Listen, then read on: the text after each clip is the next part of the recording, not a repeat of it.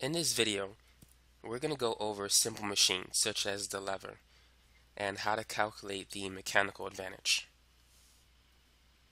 So let's say if we have a simple lever, and let's say this is the fulcrum. This works like a seesaw in a way. We're going to apply an input force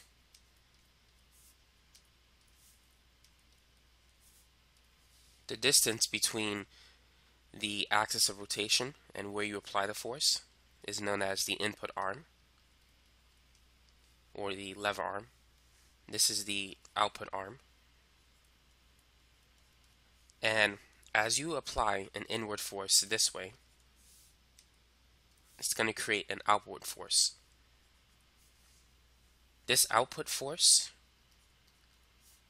could be less than or greater than the input force, depending on what the input and output arms are. Now the input force multiplied by the input arm is equal to the torque. The torque that you apply on this side is equal to the torque created on this side. So the torque remains the same. Therefore, the input force times the input arm is equal to the output force times the output arm. So let's work on an example. Let's say that the input force is 100 newtons and let's say that the input arm is 8 meters and the output arm is 2 meters. What output force will be created by this lever? Now, it turns out that the larger force is associated with the shorter side. So, because this is the shorter side, the output force is going to be larger than the input force. And because the output arm is four times as short compared to the input arm, the output force should be four times as large. Now let's use the equation to calculate the output force. So we know it's the input force times the input arm, and that's equal to the output force times the output arm. So if we divide both sides by 2, 8 divided by 2 is 4, and 100 times 4 is 400. So therefore the output force is 400 newtons. So this machine, this lever, was able to multiply the force that you apply by a factor of 4. And that's the purpose of machines. Machines allows you to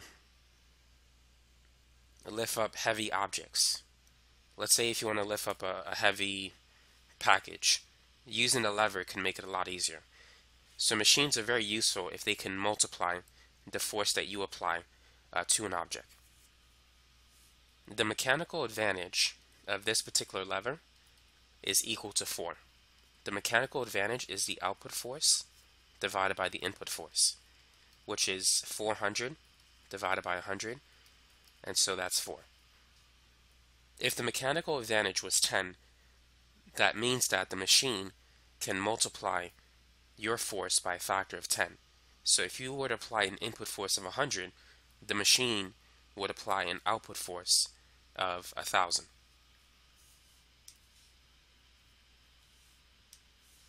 Now, mechanical advantage can also be calculated using this equation. It's also equal to the input arm divided by the output arm for a lever. So this is 8 divided by 2, which will also give you 4. Now let's try a problem. The mechanical advantage of a lever is 6. What is the input force applied if the output force is 24 newtons?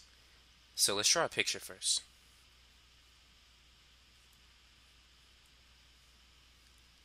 So we know that the output force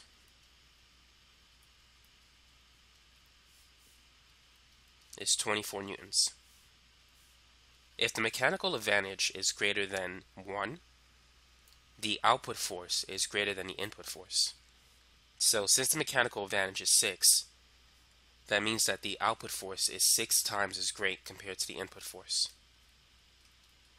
So using the equation, MA is equal to the output force divided by the input force. So MA is 6, the output force is 24. Let's solve for the input force. So instead of writing 6, let's write it as 6 over 1, and let's cross multiply. 1 times 24 is 24. And then on the other side, we have 6 times the input force. So 24 divided by 6 is 4. So the input force is 4 newtons.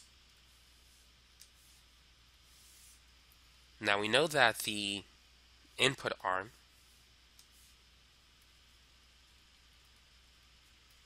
is 12 meters. What is the output arm? We know that the shorter side is associated with the larger force. So we know that it has to be 12 divided by 6, so it's going to be 2. But if you want to use the equation, here's what you need to do. MA is equal to the input arm divided by the output arm. The mechanical advantage is 6, the input arm is 12. We need to solve for the output arm. So let's cross multiply just like we did before. 12 times 1 is 12.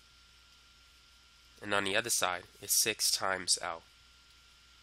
So if we divide both sides by 6, we can see that the length of the output arm is 12 divided by 6, which is 2.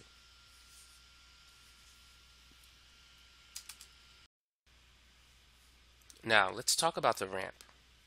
Now, typically, you don't think of a ramp as a machine, but it can affect the force that you apply to get an object from ground level to a height of b.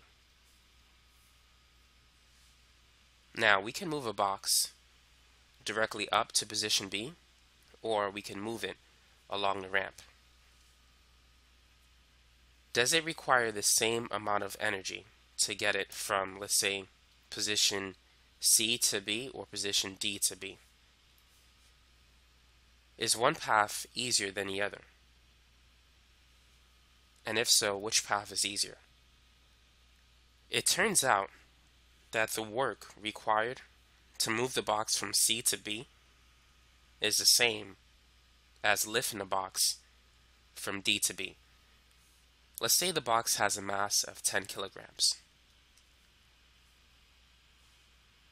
To lift it up from D to B, you have to go against gravity.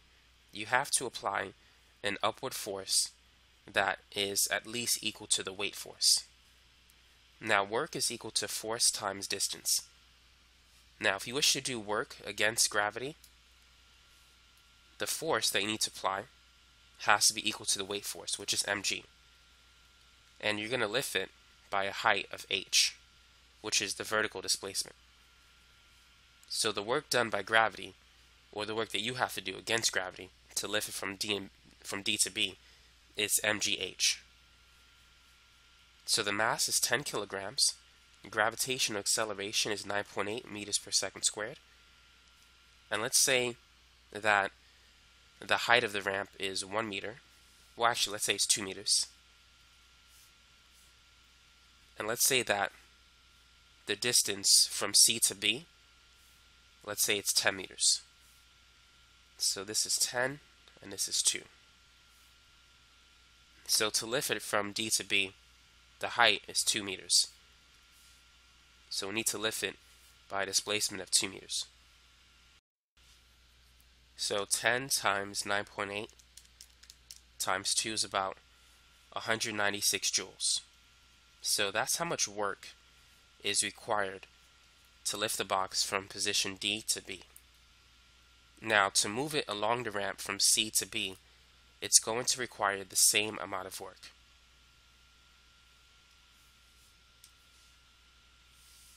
But with that value, we can calculate the force required to move it from C to B. So W is equal to FD. The work required is still 196 joules. And the displacement from C to B, the distance that we're moving it is 10 meters. So 196 divided by 10 is equal to a force of 19.6 newtons.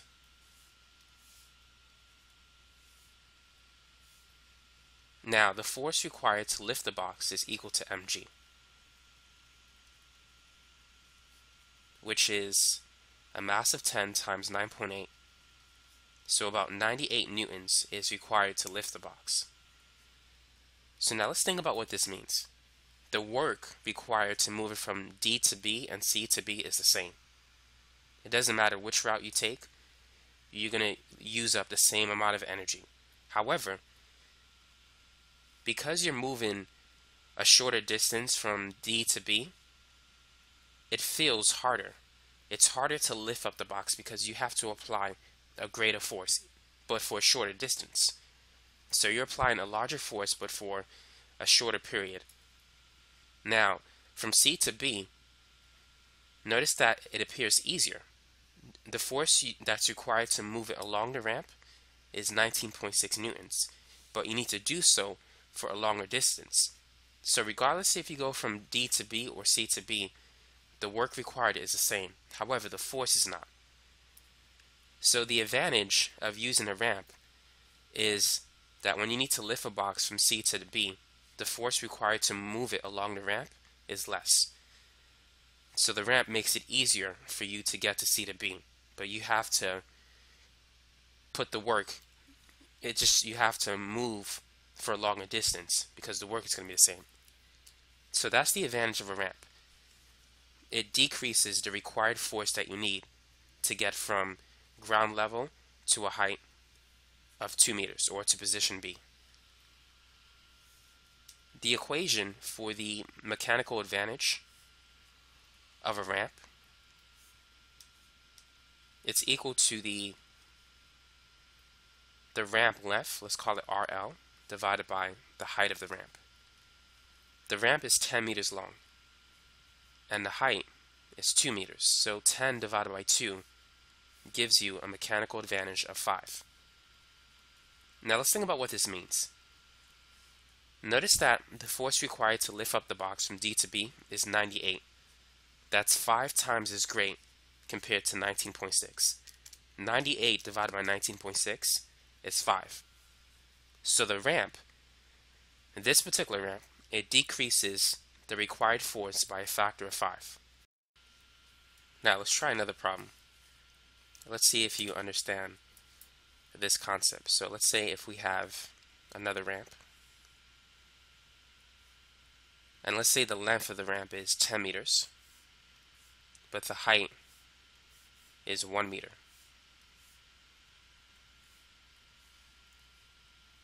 And let's say that the mass of the box is 20 kilograms.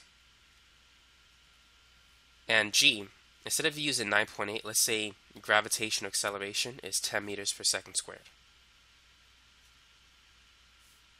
So what is the force required to lift the box from position, let's call this A, B, C. From position B to C, what's the force required? the force required is uh, equal to the weight force. That's the minimum force you need to lift the box from B to C. And the weight force is the mass times the gravitational acceleration. So at least 200 newtons of force is required to lift the box from B to C. Now what is the mechanical advantage of the ramp? Mechanical advantage is the, the ratio between the length of the ramp and the height. So it's 10 over 1, which is 10. So therefore, if we wish to move the box from position A to C, what force is required to move it along the ramp? So because the mechanical advantage is 10, it's going to be 10 times easier to move it from A to C. So if the upward force that we need to apply is 200 newtons, then the force that we need to move it along the ramp from position A to position C is going to be 10 times less. It's going to be 200 divided by 10, which is 20 newtons. And so that's the advantage of a ramp. The ramp allows us to move an object to a higher position with a smaller force. So a smaller force is required to move it along the ramp. So whereas we need a larger force to move it from B to C. So remember this though. The smaller force is always associated with the longer side, whereas the larger force is associated with the shorter side. So you can apply a large force over a shorter distance, or you can apply a small force over a longer distance. In either case, the work is the same. Work is equal to force times distance. So 20 times 10 is 200 joules, or 200 times 1 is still 200 joules. The work required to lift it up is the same. So you're not expending extra energy.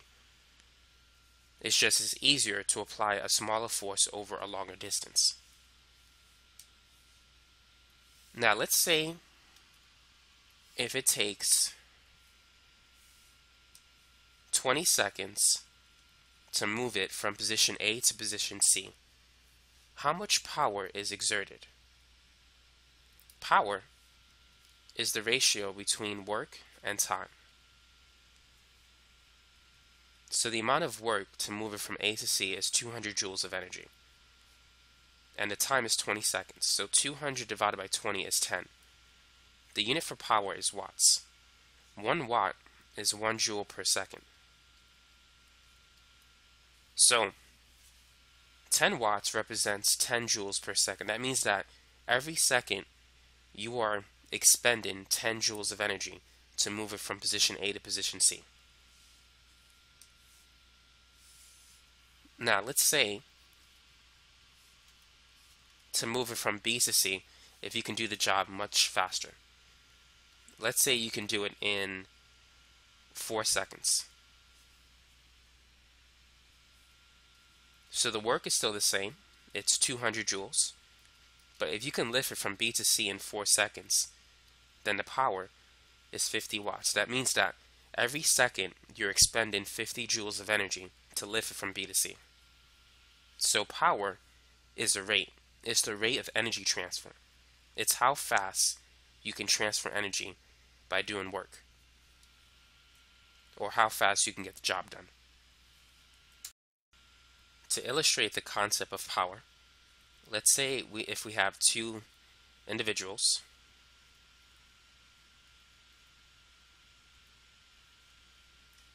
and both of them are going to lift a 10 kilogram box. And they're going to lift it by a distance of 2 meters. Let's say this is person A and person B. Now person A, he's going to get the job done in 1 second. And person B, he's going to take 10 seconds to get the job done. Now which individual performs more work? And which one exerts more power. So work is force times distance. And to lift up an object, the minimum force that you require is equal to the weight of the object, which is mg. And d is basically the height that you lift it. So the work required to lift an object is mgh. Now both objects have a mass of 10. Let's say the gravitational acceleration is 10 instead of 9.8 and the height is 2. 10 times 10 is 100 times 2 is 200. So both individuals perform the same amount of work. They lift in the same box a height of 2 meters. So they both perform 200 joules of work. Now power has to do with how fast you can get the job done. Person A takes one second to lift the object two meters. So the power exerted by him is the work divided by time is 200 joules per second. So he exerts 200 watts of power. Person B takes 10 seconds to get the job done, so he's a bit slower. So therefore, even though he can still do the same amount of work, it takes him longer to get it done. So the power that he exerts is less. It's 200 joules divided by 10 seconds, or 20 watts. So power is how fast you can transfer energy, or how fast you can get the job done. So person B can transfer 20 joules every second to lift up the box. Person A transfers 200 joules in one second to lift up the box. So that's why person A exerts more power. He can transfer more energy every second. And so that is it for this video. Thanks for watching and have a great day.